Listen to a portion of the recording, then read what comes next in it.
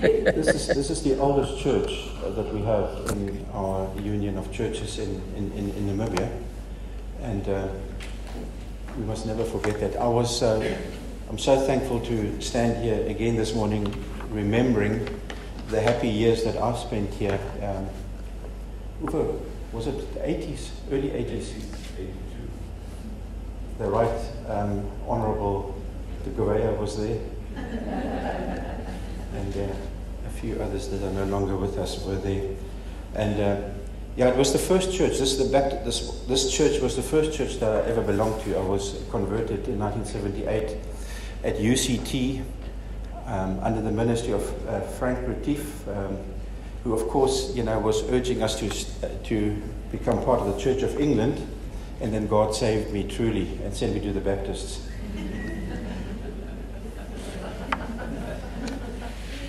It was um, that was just a joke, by the way. Um, but I do I do uh, want to give thanks to, to the Lord this morning, public thanks to the Lord for the uh, opportunity to stand here once again after so many years, and uh, it, it, really moves my heart, brothers and sisters.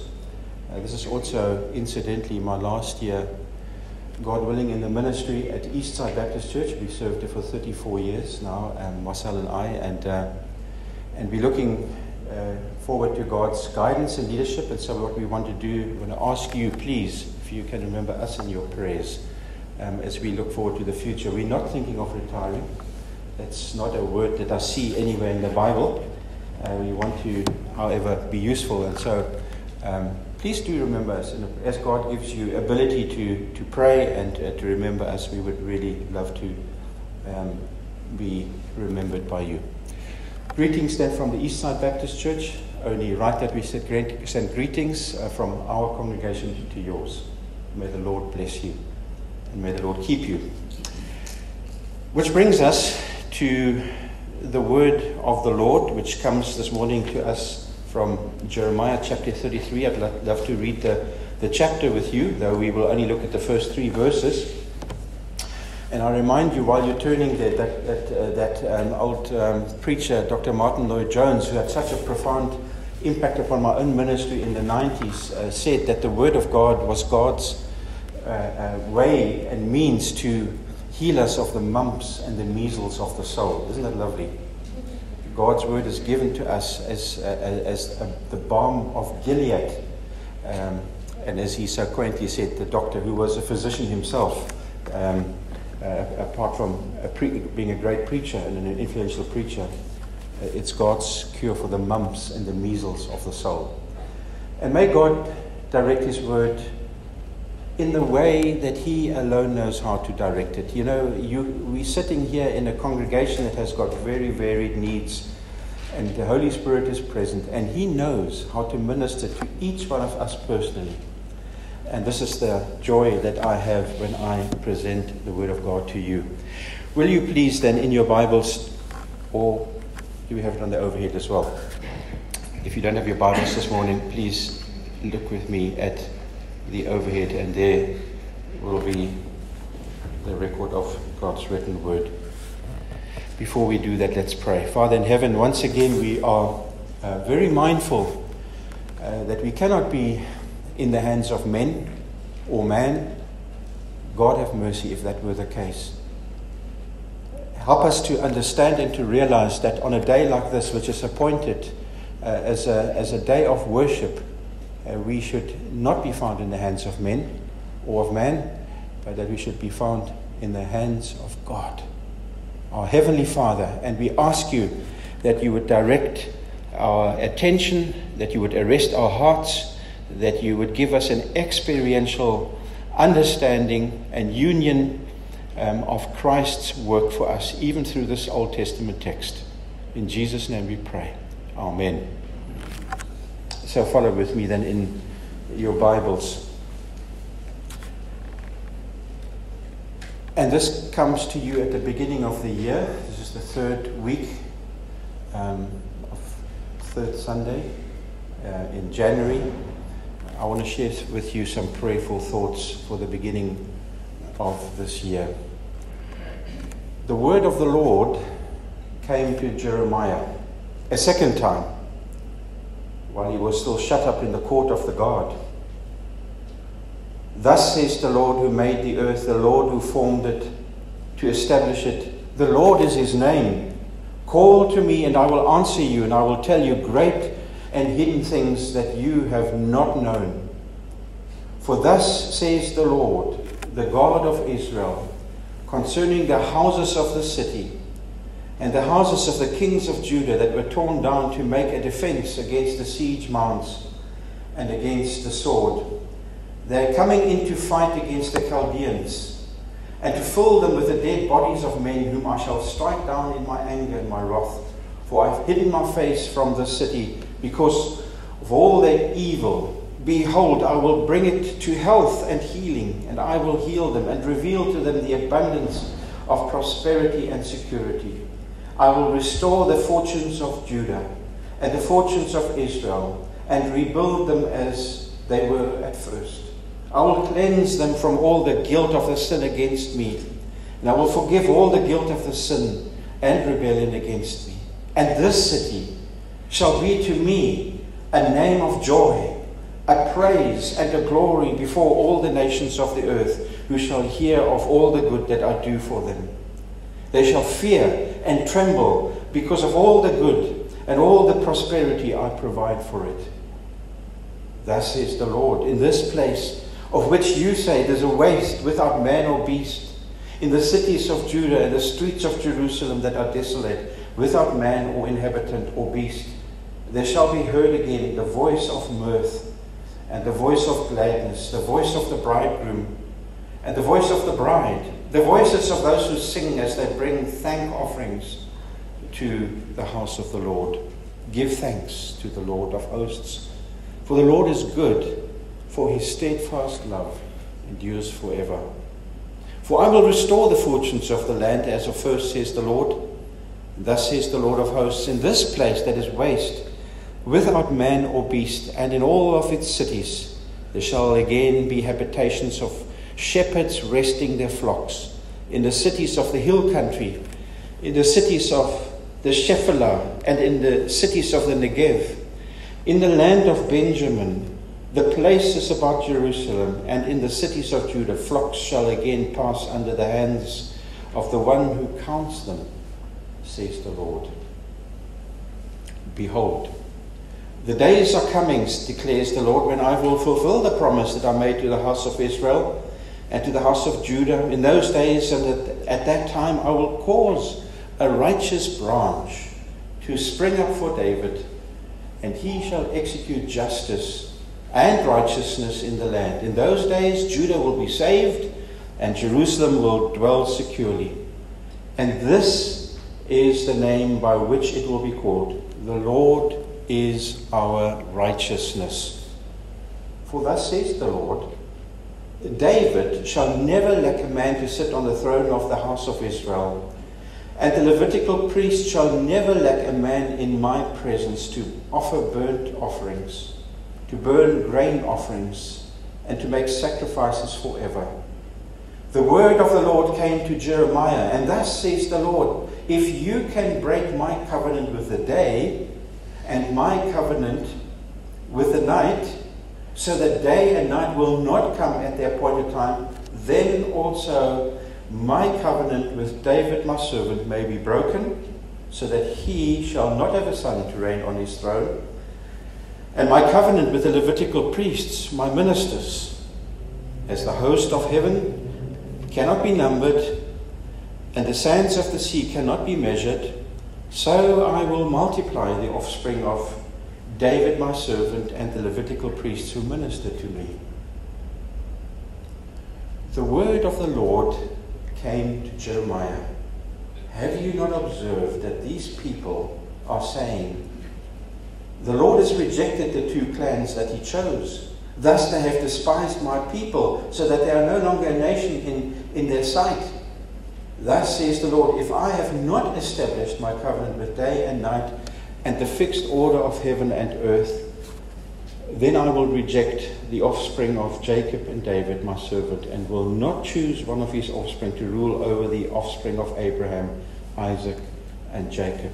For I will restore their fortunes, and I will have mercy on them. This is the word of the Lord according to the prophet Jeremiah.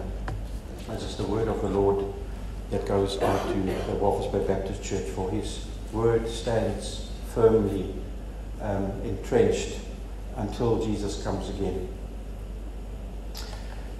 Prayerful thoughts for the beginning of a new year. And of course, you will um, immediately remember the text, um, which you will probably remember. If anything, if you will remember anything about the prophet Jeremiah, you will have quoted either to yourself or you will have heard this text quoted Call to me, and I will answer you, and I will show you great and hidden things which you have not known. I'm sure that you have heard that text.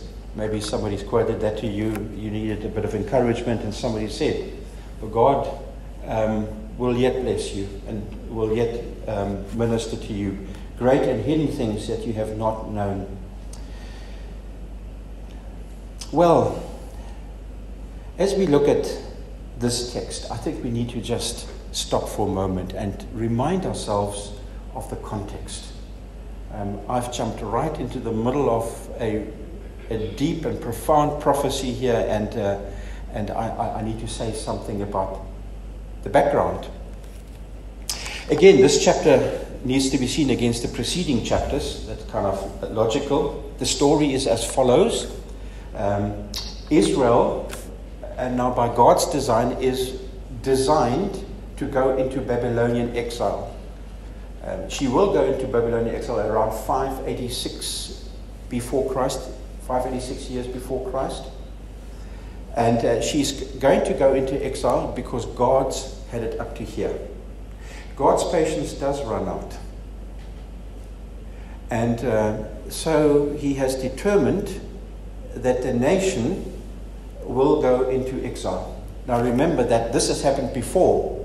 The northern kingdom, which was separated um, about 150 years earlier, went into exile under the Assyrians, um, and they were gone. The southern kingdom, which was rooted in Jerusalem, uh, was going to experience the same fate because of persistent spiritual waywardness. She will fall into the hands of the Babylonians under King Nebuchadnezzar in time. But, and aren't you so glad you sang that song just a moment ago? His mercy is more. The Lord will have mercy on his people. He will, he will, he will bring them back in time.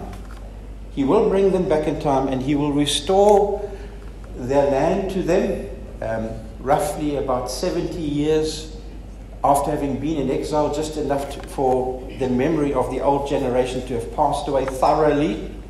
You will bring them back under men like Jeremiah, uh, I mean, uh, Nehemiah and Ezra. Under these type of men, he brings them back. And of course, Daniel prophesies in that period. And he will restore their land. They must go into exile, but he will restore their land. And Jeremiah knows all this because he is the prophet of the Lord. He's the true prophet. And with prophetic vision and with prophetic in, insight, he encourages his people not to stubbornly resist. He says, People, go into exile. Do this. Go. Go into exile. You'll be safer there than you will be here. And um,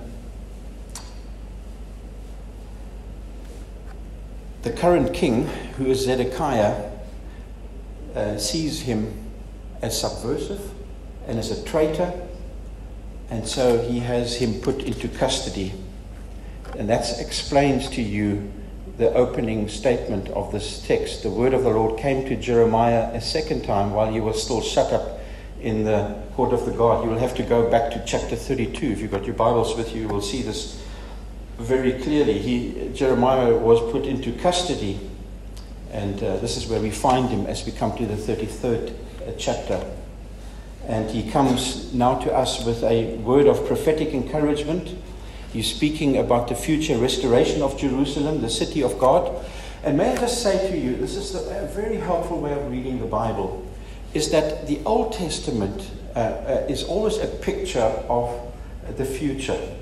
So when you think of Jerusalem, don't think of just Jerusalem. Think of her as a picture of um, God's chosen city, uh, God's people, um, God's ultimate people.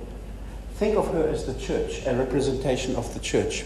And you will see, of course, the city of Jerusalem at the end, right at the end of the Bible, in the book of Revelation, coming down from heaven. Um, the bride of the Lamb, the people of God. So keep in mind always that the, the, the Old Testament uh, is much bigger than what it appears at face value. Yes, he's talking about a real situation, he's talking about a historical situation, yes, but it always points forward to greater realities. This is the, this is the prophetic nature of the Word of God, and therefore, immediately we come to the relevance um, of this prophetic book for us. So, Jeremiah was a true prophet in the midst of a sea of false prophets, as we have in our day. Man, how we struggle against false prophets who speak peace, peace into people's souls where there is no peace. Those are words from Jeremiah himself, by the way.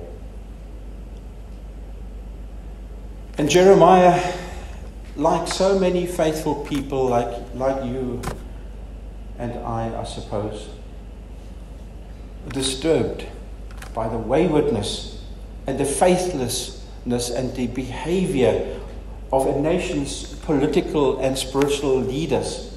Yes, it's true. We can never separate what happens in the country. The church and the state are separate entities, but we can never separate them in any nation. As goes the church, so goes the country. And, the, and as goes the country, so it has an impact upon the church. And so Jeremiah is born into a time when he sees political and spiritual leaders living chaotically. Their, their lives of the leaders mirror what goes on um, in society at large. There's a saying also in the scripture people, uh, like priests, like people. The pulpit very much affects what goes on in the pew. We are not we do not live in isolation, my dear friends. We are affected. We are deeply affected by what goes on around us. And so, as Christians, we see history repeating itself. So, when we look at um, a prophecy like Jeremiah's, we kind of say, well, you know, that sounds kind of strangely familiar. Uh, we, we, we can see that happening. And we, and, and, and we see history repeating itself. We, we, we suffer also the consequences of being in the hands of rulers that have no regard for God, um, who, who seek solutions for our troubled societies, and our, and our society is troubled, who, who seek solutions for our troubled society in every sphere but from the Word of God. And because of this, there is a steady regression in our society. Things are not going forwards, they're going backwards. That's what Jeremiah was saying to his people. In Afrikaans is it saying, Julle boer agteruit. You're farming backwards. That's the transliteration into English. We're farming backwards. We, we're not making progress. And, uh, and, and there's a steady regression in society. Now, Jeremiah prophesied at a long ministry. He prophesied in the reigns of three kings. Um, you can see that in Jeremiah chapter 1 and verse 1. There's King Josiah. He was actually a good king. He was a king who led a reformation. That just shows you how quickly um, knots can be untied because he, he was followed uh, by, by his two sons. And, uh, and uh, the one was Jehoiakim and the other one was Zedekiah. Zedekiah is the one who actually locked Jeremiah up in, in prison. And we see from Josiah, even though he was a king who led reformation, that the, the, the um, generation that came after him did not hold on to the same principles as Josiah did. And again, the Reformation came through the word of the Lord that came to Josiah. Reformation always comes when the word of God is boldly proclaimed and boldly accepted. But from Josiah onwards, Jehoiakim and Zedekiah um, uh, give no regard to the word of the Lord. And uh, so from Josiah to Zedekiah, the declension is remarkable. Every generation, I want to remind you, and this, this is where the Word of God speaks to us this morning. Every generation, that means you, yes, you, even you young people, little girls over here sitting here, even you need to know that you got to hold on tightly to the Word of God. If it doesn't get maintained by you, we will go backwards. And so it is. And we're living in a fairly backward uh, time as far as uh, the effect of God's word uh, is concerned. Every, every generation needs to fight for reformation uh, because uh, life in a fallen world always pulls us down. Nothing gets better by itself. Everything needs maintenance. Even this pulpit, that, this beautiful pulpit here, you know, it's going to, with time, it's going to not going to get better. You're going to have to maintain it. Everything, this building. Oh, don't we know in Walvis Bay how we need to maintain stuff? Um, that's the second law of thermodynamics. Things tend towards a state of disorder. Things don't get better. If you don't maintain, if you don't reform, if you don't go back to first principles, I remind you that life in a fallen world always pulls us down. And it is only the Word of God that pulls us up. And that's why we need Sundays like this. We need days like this where we are reminded, where we, where we take distance from the week in which we were battered and bruised uh, and pulled down, and we need to conform our, our souls and our hearts again to the, to the word of the Lord. Like Jeremiah, we need to hold on to the word of the Lord against all the odds, and there are many odds stacked against us. We, we need to continue to, to, to hear the word of the Lord as Jeremiah did. Did you hear how many times the word of the Lord came to Jeremiah? Again and again and again and again, even in this chapter alone. You need to have the word of the Lord coming to you, my brother and my sister. It needs to come to you. And it mustn't just come to you in that fashion, it must come into you. It must come into your heart. It must embrace you. It must reform you. It must renew your thinking. Because the Word of God alone gives us hope in a hopeless world. We need to hope against all odds sometimes because here was no hope, at least at the physical or at the visual level. Israel needed to know that there would come a time when it wouldn't be like this, what they were experiencing right now. That there would be a time that they would come out of Babylon, that there would be a time when they would come back to the promised land. And my brothers and sisters, I want to exhort you in 19, uh, at, at 2023. I want to exhort you to hold onto God's word at all costs. At all costs. Knowing that Jesus has promised us as, as a church that we will inherit a kingdom.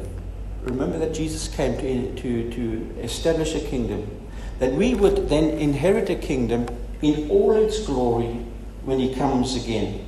I remind you just of the final outcome of the word of God that came to Jeremiah when you go to the back, the last word, which is the book of Revelation, from chapter 21, verses 3 to 4. This is the outcome. The heavenly Jerusalem, it says, will be our city, and the dwelling place of God will be with man. He will dwell with us, and we will be his people, and God himself will be our God. He will wipe away thank goodness, every tear from our eyes, and death shall be no more.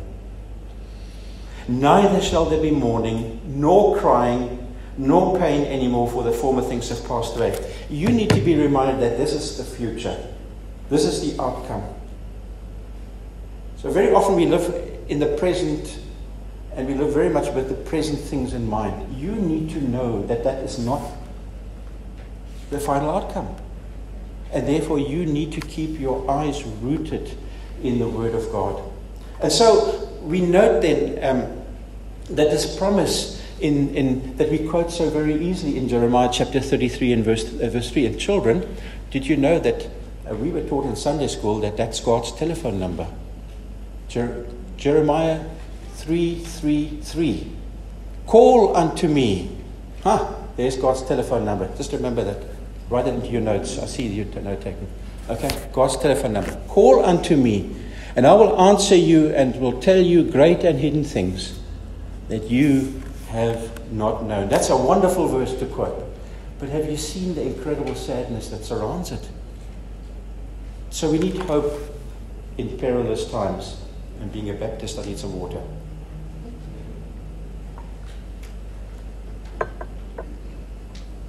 So,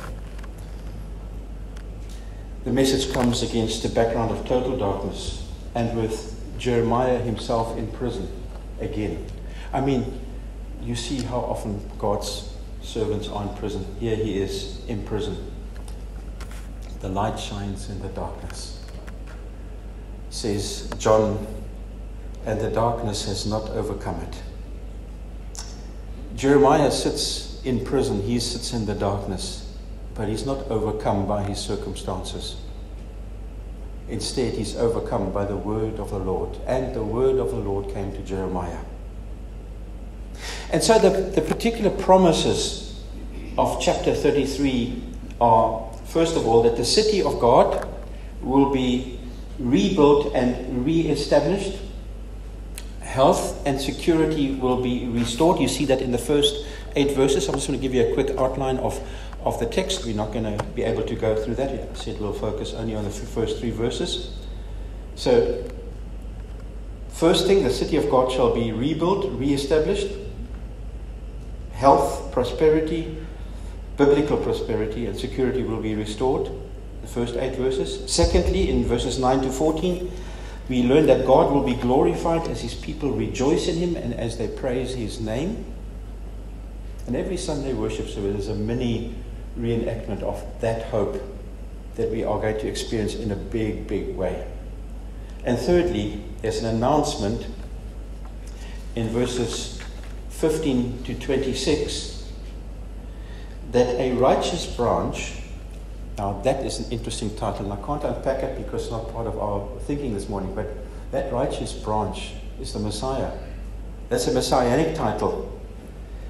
He will rule, he will rule, Jesus will rule. We've just celebrated him, didn't we, at Christmas? Christ came into this world, born uh, uh, to save sinners and to, to usher in and to bring in that kingdom.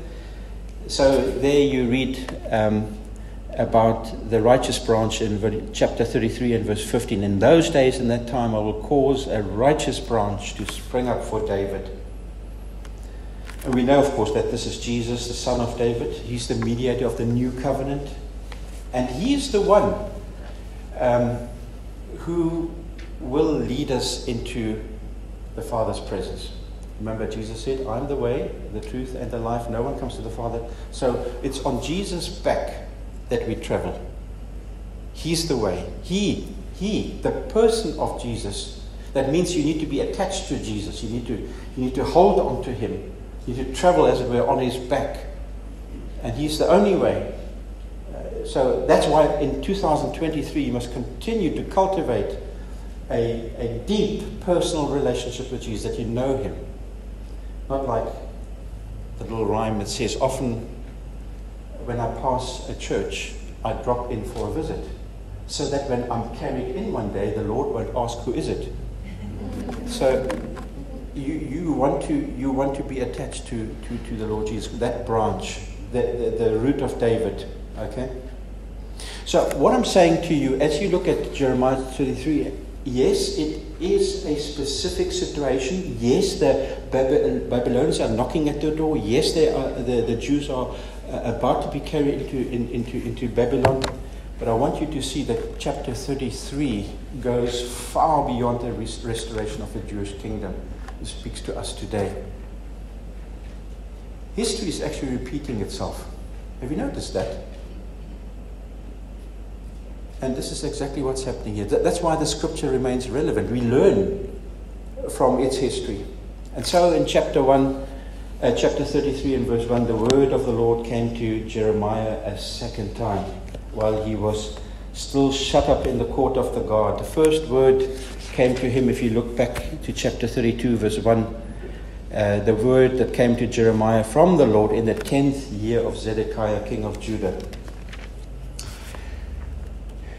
The world and the church in particular, you at the beginning of 2023, as you sometimes wonder what is happening, why are things as they are, why are things regressing? The word of the Lord came to Jeremiah a second time. The word of hope comes to, to Jeremiah and thus to the nation of Israel.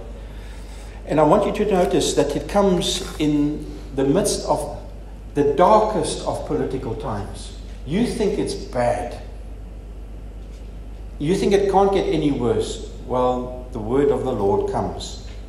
As the Babylonians are preparing to, to, to raise siege ramps, as it was common um, in the, in, in the you know, besiegement of, of, of cities in, in, in, those times, the fortified cities in, in particular.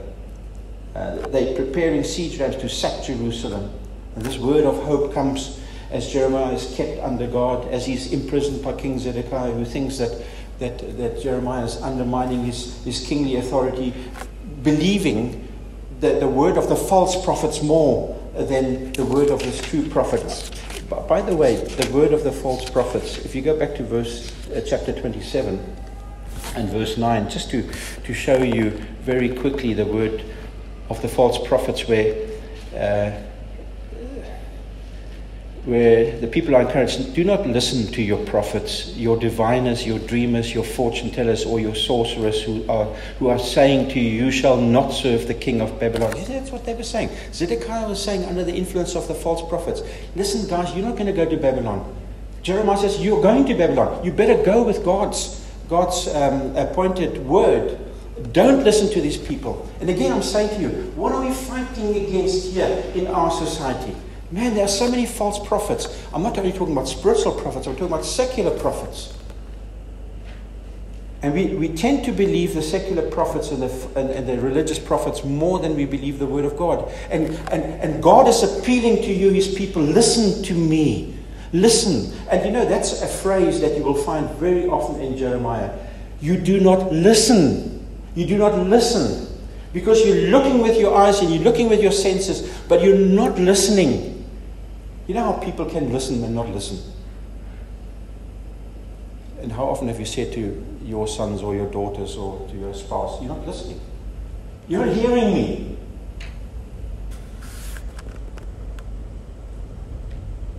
The word of the Lord comes as a word of hope in the most hopeless of times. Zedekiah, the king, doesn't receive it. Of course, he's not listening. But the wonderful thing is, and you're sitting here as a righteous woman and a righteous man, and you're saying, you know, who's listening? Well, God is listening. And the wonderful thing is that you need to learn from, from Jeremiah is that no imprisonment can deprive God's people of his presence. There, there are no locks, there are no chains that keep God from visiting his people where they are locked away. In fact, you know from the scriptures that God, on numerous occasions, has visited his people in prison in an extraordinary way. Just think of Joseph in Egyptian prison. Genesis 39, verse 31 says, But the Lord was with Joseph and showed him steadfast love and gave him favor in the sight of the keeper of the prison. God was with him in, in, in, in that terrible circumstance. Think of Daniel in the lion's den. Daniel 6.23 says, No harm was found on him because he had trusted in his God. Or think about Paul and Silas in prison. Having had many blows inflicted upon them, and yet they were able to pray, yet they were able to sing hymns uh, to God in the night. You see that in Acts chapter 16. The, the presence of God was clearly with them. Many of Paul's epistles, the, the letters that we study and that we cherish, were written from prison. Why? The letter to the Philippians is the letter, the most joyful uh, of his prison epistles. Is it possible to have, have, have joy in, in darkness Yes, yes, if God is with you, we will fear no ill. I want to remind you, my brothers and sisters, um, and there's a lot of suffering around. Um, Carol, I'm just thinking about you guys in particular now. That God has used the lives and the words of his suffering people in very great ways. Look, I don't want to talk about myself, but I'm telling you, the ministry brings about a lot of heartache and anguish. A lot. Can't throw out our toys out of the cot. We need to, as pastors, be ministering to you with all patience and perseverance and with love in our hearts, the love of the Lord Jesus. And because of that, suffering that's not unique to pastors, but there is a suffering that's unique to pastors in the ministry, as we sometimes minister with tears to our people who will not listen. Uh, so I, I, I spent a lot of time in the company of dead men, books, biographies. And, and one man that I've really benefited from over the years uh, was Samuel Rutherford. Now he's lived from 1600 to 1661. He was a Scottish Presbyterian pastor, he was a theologian, he was an author. In his first years as a pastor in his parish church at Anwoth in Scotland, he experienced very great very great sadness. His wife was ill for a year and a month, and then she died in their new home. Two of his children died um, during this period, and yet he remained a faithful pastor. He was always praying, he was always preaching, he was always doing what he was called to do, he was always visiting the sick, he was always teaching his people from home to home, he was always writing, he was always studying, he was always enlarging his, his, his heart and his mind. And the thing that he was best known for is for preaching the God centered gospel. That man was saturated with God. Um, as I said of John Bunyan, that Baptist who, who, who wrote Pilgrim's Progress in Prison, Suffering, produces wonderful literature. And they said when you pricked him, his blood was bibline. Um, uh, he was preaching a God centered doctrine. And, uh, and he insisted that Christian profession, and this is where the heartache comes in, that Christian profession should be matched by godly living. That's our job. To make disciples of the Lord Jesus Christ. Christian profession must be accompanied by godly living. God's people need to be urged and pleaded with to forsake sin and to become Christ like. For goodness sake, that's what it means to be a Christian. You know? Um, and because of this, his church authorities, who were not godly men, chased him out of the church at Anwoth. And then God used him in particular in his pastoral letters, which he said to his church members, particularly those that were suffering in his parish. They chased him away, but he had the pen. And he wrote notes of encouragement to his suffering parishioners. And Charles Haddon Spurgeon, whom you know, uh, was a great Baptist preacher who himself um, was subject to severe suffering, not only mental uh, depression, uh, but he suffered in his body. He had great, in fact, he died at the age of 56, so he died 57. And he died of a broken heart, that's what they said. He died well before his time because of the, just the burdens of the ministry. Well, Spur- Spurgeon described Rutherford's letters as the nearest thing to inspiration which can be found in all the writings of mere men. And uh, when I was preparing the sermon, um, I read a, a, sermon of Spurgeon on Jeremiah chapter 33 and verse 3, uh, which he entitled The Golden Chain of Prayer. And I saw there that he quoted Rutherford and he said, You're going to like this. Rutherford had a quaint saying that when he was cast into the cellars of affliction, you know what a cellar is? A cellar is a, a room that's down beneath the house, deep and dark, and it's cool, and that's where people kept, um, you know, their, their, rations, their food, and also their, their wines. Now listen to this here. Rutherford had a quaint saying that when he was cast into the cellars of affliction, he remembered that the great king always kept his wine there. and began to seek at once for the wine bottles to drink of the wines on the lees well refined. That's old language. Let me explain. What he wasn't saying, just for that you take the pressure off now, after all in Baptist company here. Um, what he wasn't saying is that in adverse circumstances get drunk. no, that's not what he was saying. What he was saying is that even in the darkest times, when you're down in the cell of affliction, God has an encouragement for you when you find yourself in those dark cellars of life. You see, when God is at the end of your story, it matters very little what men can do or may do or what circumstances will do. When God is at the end of your story, it matters very little what, what, what circumstances or men will do. Another biography, and I said, I, I've been in the company of this because of men like this and women like this because it helps me to get perspective, not never to feel sorry for myself because this is the ministry. We've been called to this. So stop complaining, but I need I need the counsel, I need the help, I need the encouragement of others. So here's another biography that made a deep impression upon me. Uh, John Paton, 1824 uh, to 1907. He's another Scotsman who made, became a missionary to what was once known as the New Hebrides in the South Pacific Ocean. It's now known as the nation of Vanuatu. He arrived in 1858. His decision uh, to go there was subject to severe criticism by a very respected elder in his church. The elder said, You will be eaten by cannibals. There, there, there were cannibals on those islands, they were eating each other. Um, you will be eaten by cannibals. John Paton responded, Mr. Dickson, Mr. Dickson, you are advanced in years now, and your own prospect is soon to be laid in the grave, there to be eaten by worms. I confess to you that if I can but live and die serving and honoring the Lord Jesus, it will make no difference to me whether I'm eaten by cannibals or by worms. In the great day, my resurrection body will rise as fair as yours in the likeness of our risen Redeemer. What I'm saying to you my brothers and sisters, as, I, as, I, as, I, as, as I'm asking you to stand where Jeremiah stands,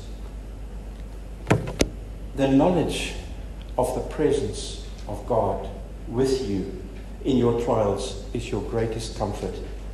And again, I want to say to you, it matters very little where you are as long as God is with you. I was reading in my quiet time this morning Psalm 121, which I sent to you this morning I lift my eyes to the hills. Where does my help come from? My help comes from the Lord who's made the heavens and the earth. He will not cause your foot to stumble. The, the maker of Israel neither slumbers nor sleeps. You see? That's the nature of the God. And in 2023, you must study the nature of God. And more than that, not study, you must believe Him. You must take Him into your hearts. That's one of the problems with God's people today. We keep God like in a medicine chest, medicine cabinet, and we use him when we need to. Rather let him be in you and with you. That's where his promised presence is. And so the word of the Lord came to Jeremiah while he was imprisoned. And it came a second time to Jeremiah. Isn't it wonderful? He was in prison, we saw in chapter 32, but he came a second time. God did not forsake his, his servant there. The word of the Lord came to Jeremiah again as a reinsurance. God knows how to encourage you. You know, Marcel and I were, were very sick with COVID in 2021. We had that Delta virus, that dreaded Delta virus that, that got some of you. And John, you said you barely survived. By God's grace, you're here. Well, we were, we were, we were close to that as well. But let me tell you, the one thing that I cherish about thinking back those times is the nearness of God at that time. The Lord was very near while we were in that prison. And uh, the experiential love that we experienced from God, the word that came to us in such power, um, will remain sweet to us. And so in verse 2, thus says the Lord who made the heaven and the earth, the Lord who formed it to establish it. The Lord is his name. Look who's talking. Who's talking? Who's talking to Jeremiah? This is not, this is not a, a, a, a counselor somewhere around the corner. Um, this, is, this is the Lord. He's talking. He's the one who's giving this promise. He's the one that it's inviting him and he's inviting us to call no one less than the Lord of heaven and earth. And that's what we need. When our lives are turned upside down, when life, our lives are full of chaos and confusion, when, when truth lies slain in the streets and you wonder whether there will be a tomorrow for the church, and when you, when you wonder whether the true church is still visible in the community, and, and when you see many of our leaders landing up in prison. Yes, even, even in, in the Western world, pastors are going to prison now for standing up against the nonsense that's been proclaimed in the public square. And I'm not going to go down that way now. You know what I'm talking about. We see pastors imprisoned. And here, this text is an assurance that the sovereign Lord is in, still in charge here. He's not forgotten Jeremiah. He's not forgotten the people of his covenant the true children of Abraham, which are, of course, comprised of both the Jews and believing Gentiles. You know that, don't you? And you see how, how committed God is to his people and the firmness of his covenant. You see it in verses 19 to, to, to and following. Let me just read this to you again 33, uh, verse 19. The word of the Lord came to Jeremiah. Thus says the Lord, if you can break my covenant with the day and my covenant with the night, so that day and night will not come at that point in time, then also my covenant with David, my servant, may be broken. Cannot undo what I have done. You cannot undo the love that I have for you. I, I revel in those truths. I hope that you do too. I hope that you revel in the love of God the faithfulness of God. Who, look who's talking here. Who's talking to Jeremiah? Who's talking to you? If God's talking to you, as He is now, hold on to Him. Hold on to Him. He cannot lie. He cannot. He cannot. Listen, your feelings and impressions of that which goes around you, that which you feel from day to day, which causes your highs and your lows. Listen, when you're in the valley of doubt and darkness, take yourself to the Word of God and read it until light shines out again for your soul. Don't be abandoned to your emotions. They are fleeting and they're deceiving. I'm telling you, I'm telling you because I myself, I think I'm old enough now to say to you that I, I'm learning to master that problem. And it's when I spend time in the Word of God, letting the Word of God come to me prayerfully with humility, not, not supposing that I can um, do anything for myself, looking to Him who is faithful. Light breaks forth. Hold on to Him. Don't be overawed by your feelings, your emotions. They're important, yes. They're part of who you are, but remember you are a fallen man, you're a fallen woman. You cannot trust them, but you can trust God's word. Jeremiah portrays deep emotions in this, in this chapter. He's not called the weeping prophet for nothing, but he's not overcome. And he says to the Lord a few hard things too. But he's talking to the Lord. And look who's talking to him. That's important. Who are you listening to? Who are you listening to? The word of the Lord endures forever. Amen. Isaiah chapter 40, by the way, I quoted Isaiah. Chapter 40, verse 6 to 8. And now finally, verse 3. Now, all this forms the basis of this great invitation for prayer. Call to me, and I will answer you, and I will tell you great and hidden things that you have not known. Now, Jeremiah has been praying a lot in this book. I don't have time to do this, but just if you go back to the 32nd chapter, just look very quickly. In verse 16, if you've got the, the English Standard Version, which I use, um, you will see from verse 16 to about verse 25, there is a prayer. He's always praying. Jeremiah is always talking to God. He's always, because that's what prayer is in the last analysis, is talking to God. Call to me and I will answer you and I will tell you great things that you've not known. So he's just been talking to God in chapter 32, and now he must call upon God again. I just want to remind you of something that you may have forgotten. I remind you that prayer is an ongoing work. It's an ongoing work. It's part of the maintenance work that we need to be engaged in in this present season while we are waiting for our coming King. You've prayed about matters once and many times, but you must continue to pray. That's, that's, that's why Jesus teaches us two parables in Luke's Gospel. One is in Luke chapter 11, verses 1 to 13, the parable of the, of the persistent friend at midnight. And then again, Luke chapter 18, verses 1 to 8, the parable of the persistent widow, where Jesus teaches us that we must always pray and never give up. So, prayer is a work that you and I need to be engaged in 2023, very specifically. God has promised us a certain restoration of all things. Yes. And we must always pray. Your kingdom come. But until that happens, we must also pray for our daily bread, our physical needs. We need to continue for the forgiveness of our sins, even as we forgive others, ongoing. And we must pray continually that we may not be led into temptation. And what has happened in Israel, I guarantee you what happened in Israel. They forgot. In fact, we know they didn't pray.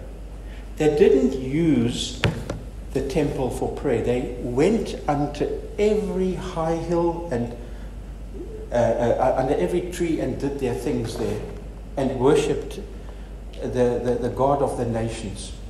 They forgot to pray. They thought, of course, they had God for good. But they forgot that they needed to maintain their purity and devotion to God. They forgot their God and they went to search in search of other schemes and look where it got them.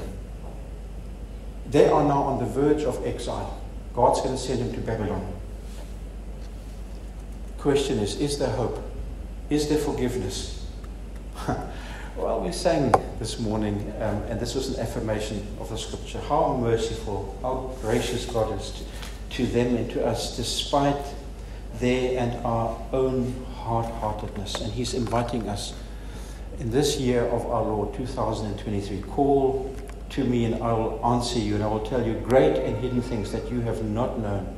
Call to Him in the midst of the perplexities and the complexities and the uncertainties, in the, in, in the face of political uncertainties, social uncertainties, medical uncertainties, economic instabilities, in the midst of poor commitments that you experience at all levels and from, from, from a church point of view, poor commitments to Christ, poor commitments to His Word. God still says to, to you, Call to me, call to Him, call to Him persistently pray without ceasing. I want to remind you that the history of this church, at least as far as I know it, and Ivo knows it, was this church was born in prayer.